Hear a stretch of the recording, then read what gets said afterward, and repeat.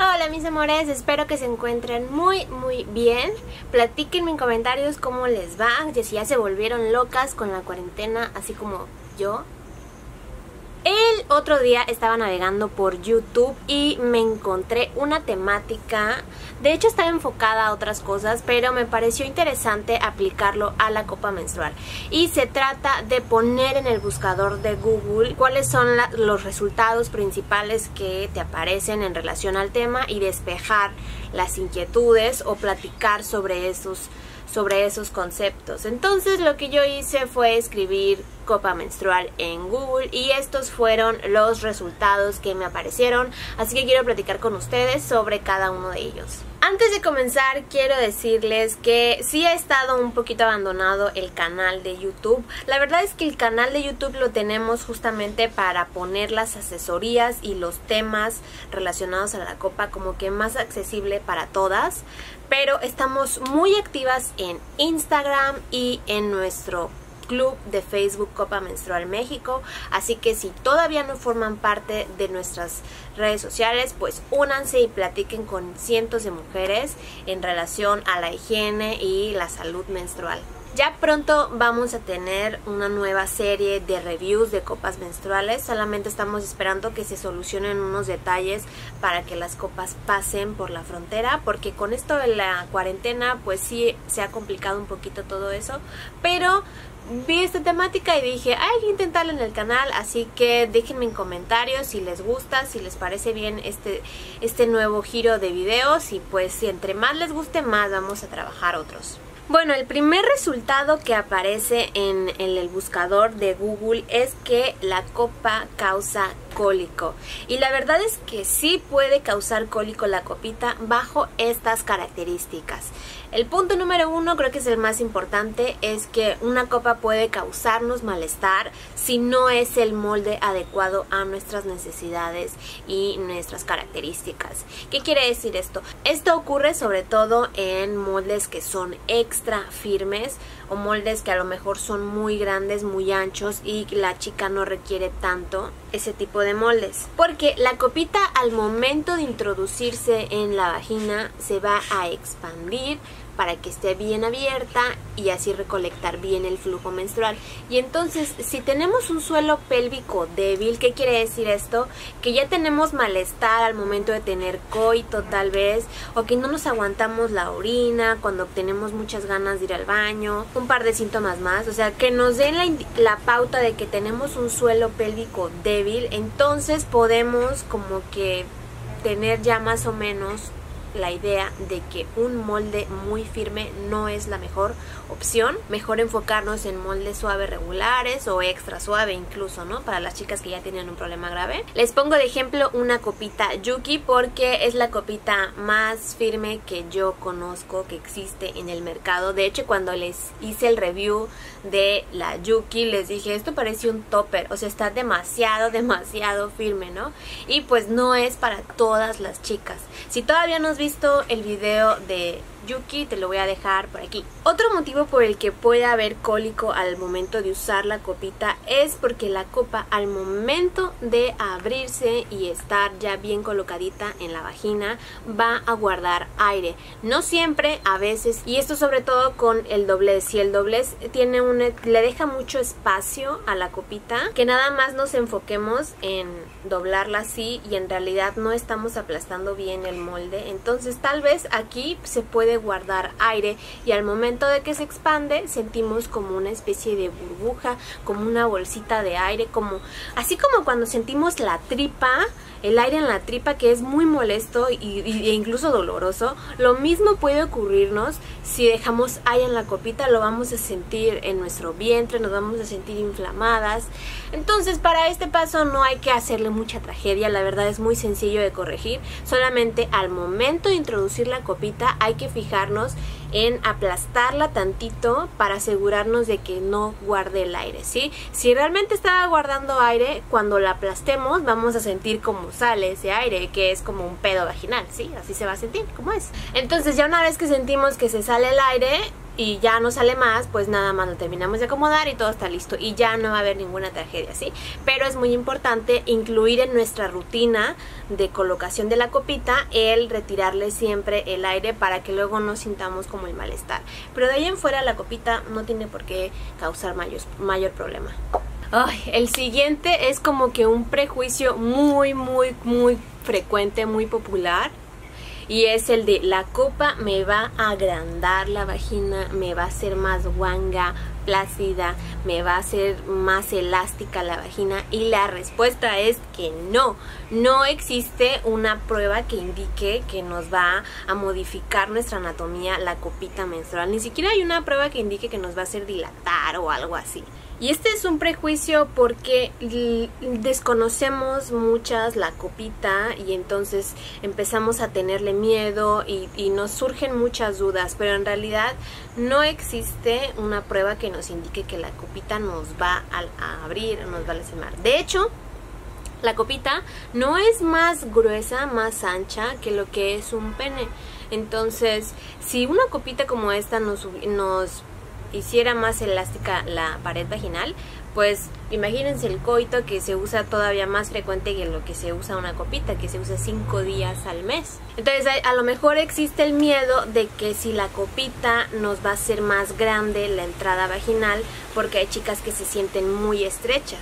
Y la verdad es que no, si una chica se siente con entrada estrecha porque el himen todavía no está completamente perforado, ya se exploró con un espejito y vio como que una copita normal no puede entrar ahí, la verdad es que lo único que tenemos que hacer es buscar un doblez para entrada estrecha, como el push down, como el 7, y de esta forma tiene el tamaño como lo tendría de un tampón.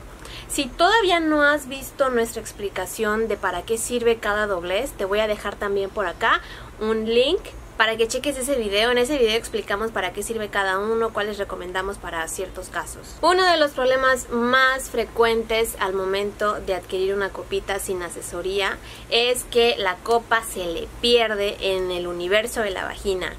Y es muy común este tipo de casos y surge porque no medimos nuestra profundidad vaginal para escoger el molde. Es uno de los cuatro pasos, es una de nuestra regla de cuatro, que ya les hemos explicado en videos anteriores. Les voy a poner el ejemplo. Este es nuestro cervix, acá está el útero, nuestro cervix, esta es la vagina. Por aquí vamos a introducir la copita. Para escoger el molde tenemos que medir la profundidad vaginal con un dedo. Entonces, si tenemos una profundidad vaginal alta, mayor a los 7 centímetros y adquirimos un molde cortito, lo que va a pasar es que no vamos a poder maniobrar fácilmente la copita vamos a tener que estar haciendo maroma y teatro con las posiciones o a lo mejor vamos a tener que estar metiendo nuestro dedito de más para intentar ubicar la copita, ¿sí?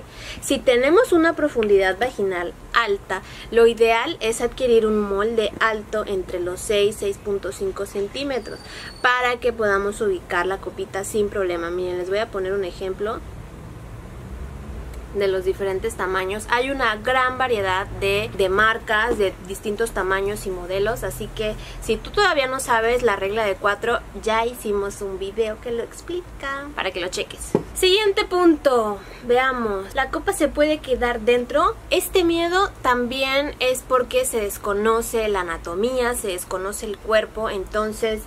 Hay chicas que, que, incluso han preguntado si la copa no se va, se va a ir al estómago, se va a ir a otra parte del cuerpo si se desacomoda. Entonces hay que conocer bien nuestra anatomía. La copa menstrual no va a topar más del cervix. o sea, la verdad es que la, la profundidad vaginal sí puede ser alta. Digo, últimamente nos caben cosas de 25 centímetros ahí. Entonces... Pero no quiere decir que se va a perder en el universo del cuerpo, ¿verdad? Quiere decir nada más que a lo mejor vamos a requerir un molde alto, vamos a requerir... Hay chicas que dicen, es que yo quiero mucho, mucho esta copita, pero no tiene mis características. Nada es imposible, chicas. Podemos adaptarnos para usar una copa corta si tenemos profundidad vaginal alta, ¿sí? Pero lo ideal es adquirir un molde que vamos a poder alcanzar sin problema, que vamos a poder maniobrar. Y para eso les recomendamos siempre medir su profundidad vaginal y así determinar si requieren un molde corto, mediano o alto. La copa menstrual se siente y sí, se puede llegar a sentir por muchas razones. Lo primero que se me ocurre es que se escoge un molde muy alto y tienes una profundidad vaginal media o corta. Eso puede ocasionarnos que al momento de introducir la copita el cuerpo la va a estar como empujando hacia afuera, el cervix va a estar empujando la copita y entonces siempre la vamos a sentir cerca de la entrada vaginal. Por eso es muy muy importante la regla de 4 para que puedan escoger la copita menstrual. Lo ideal al momento de colocar la copita es que no se sienta. La copita va a tener, va a estar con los labios vaginales cerrados, no, no vas a estar coronando la copita, no la vas a no vas a tener la copita abriéndote la vagina, ¿sí? Lo ideal es que la copita esté dentro, pero cerca de la entrada vaginal para que tú con un solo dedo puedas ubicarla sin problema. ¿sí? Entonces siempre hay que escoger un molde adecuado para, para nuestra profundidad vaginal porque de lo contrario puede que el molde se esté asomando y de hecho hay muchos videos de chicas, hay muchos testimonios de chicas diciendo que la copa no es buena, que no funciona, que no la recomienda, justamente por este dato, porque es que yo la sentí todo el tiempo, es que me irritaba la vulva porque estaba rozando y eso es por el hecho de no haberse asesorado antes de adquirir una copita. También existen otros casos por los que podemos sentir la copa, ya les había comentado que por el aire, entonces la sentimos todo el tiempo, a lo mejor no estamos bien lubricadas y eso nos genera un poquito de malestar al inicio.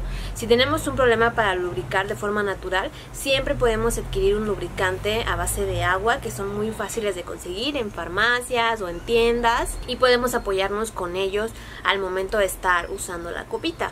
Pero lo principal es adquirir un molde que se adapte a nuestras necesidades. La copa menstrual la puede usar una mujer virgen Sí, hay que aclarar bien bien este concepto. La virginidad es una construcción social, no anatómica. Quiere decir que la mujer se va a mantener pura hasta el matrimonio o no sé, no entiendo bien esa analogía de la virginidad. Pero las mujeres que no han tenido relaciones sexuales o a lo mejor son menores de 15 años, tienen 12 años, es más, desde la primera menstruación sí son aptas para usar la copita menstrual.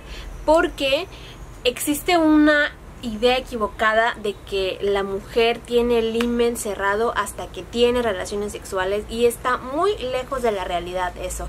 Las chicas a veces nacen sin el himen o en las primeras actividades físicas, en, en la clase de deportes, el himen se va perforando, se va se va deshaciendo, se va desprendiendo. Eh, para el momento en que tenemos la regla, ya existe una, una apertura ahí, porque de ahí sale la menstruación. Entonces, lo que tenemos que hacer las chicas que son menores, lo que, lo que tienen que hacer, si no me incluyo en ese rango, no sé por qué dije tenemos, ya no, ya no, eres tan joven, Victoria, contrólate. Lo que tienen que hacer las chicas que son menores de 15 años o que no han tenido relaciones sexuales sin importar su edad, solamente hay que explorarse, autoexplorarse con un espejito con, un, con, una mano vas a agarrar tu espejo y con la otra mano te vas a abrir la vulva, lo puedes hacer acostada, lo puedes hacer en el baño y vas a conocer qué tan abierto tienes el, la entrada vaginal prácticamente, qué tan abierto tienes el himen, qué tan perforado está y así vas a decidir qué doblez usar para introducir la copita. Si, tú, si a ti ya te caben dos deditos sin ningún problema, entonces la verdad es que cualquier doblez te puede funcionar muy bien. Si por el contrario sientes que hay, un doble, que hay una entrada muy estrecha, muy pequeñita, entonces usa dobleces para entrada pequeña, como ya comentamos anteriormente en este mismo video. Pero en resumen, no hay un impedimento fisiológico, anatómico, no hay un impedimento para usar la copita menstrual desde los primeros ciclos. La copa menstrual se puede usar de noche, de nuevo, sí. Sí se puede dormir con la copa menstrual. Lo ideal es que al momento de irnos a la cama vaciemos la copita porque normalmente una, una duerme de 8 a 10 horas y la copita se puede usar hasta 12 horas. Entonces, para que no se nos vaya a pasar el tiempo, siempre hay que dormir con la copita recién vaciada y enjuagada. Existe como que un miedo de que si, si por usar la copa mientras dormimos la sangre se va a regresar, se va a atorar en el útero o algo así. Y la verdad es que hasta el momento no existen estudios concluyentes de que la copa menstrual afecte a una mujer en ninguno en ninguna circunstancia, a menos de que se use de forma incorrecta, que se deje más horas, que no se mantenga las medidas de higiene adecuadas, pero no existe nada que asegure, que afirme que la copita va a hacer que la sangre se regrese y esto nos pueda perjudicar, ¿sí? De todos modos, aunque no usemos la copita, no toda la sangre de nuestra menstruación sale mientras dormimos.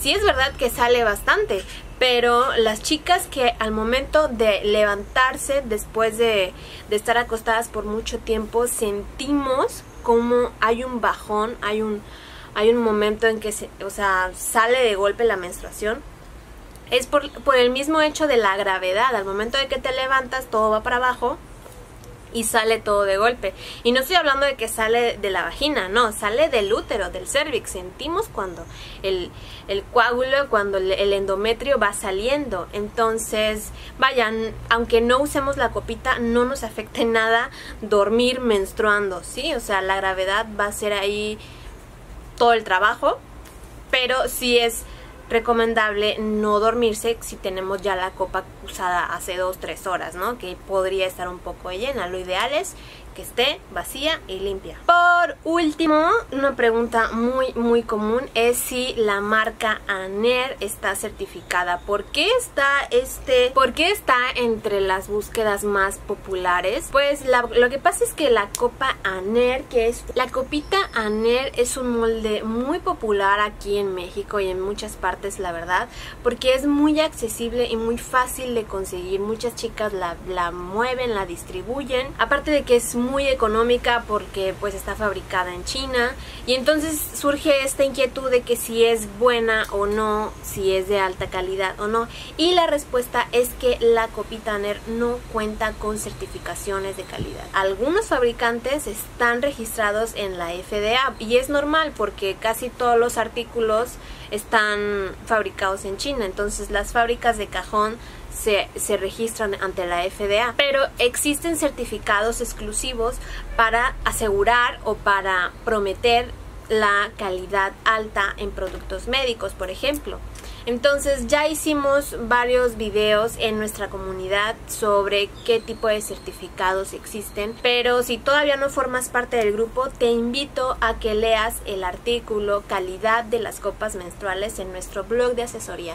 En ese artículo les platicamos qué tipo de certificados debe tener una copita, qué es una FDA, qué es COFEPRIS, qué es una institución acreditada, entre otros aspectos importantes para las chicas que buscan una copita de alta calidad, ¿sí? Y yo creo que ya terminamos. Esto ha sido todo por mi parte el día de hoy. Espero que les haya gustado este video y pues déjenme en comentarios si siguen teniendo dudas, si siguen teniendo inquietudes sobre un, un tema en específico para hacer más material resolviendo inquietudes, ¿vale? Las quiero muchísimo. Recuerden unirse a nuestra comunidad de Facebook, a seguirnos en Instagram, porque ahí subimos muchas historias, muchas, muchas respuestas. Prácticamente ahí es la asesoría que estamos publicando constantemente. Entonces síganos en nuestras distintas redes sociales. Y pues ya, nos vemos en la siguiente. Bye.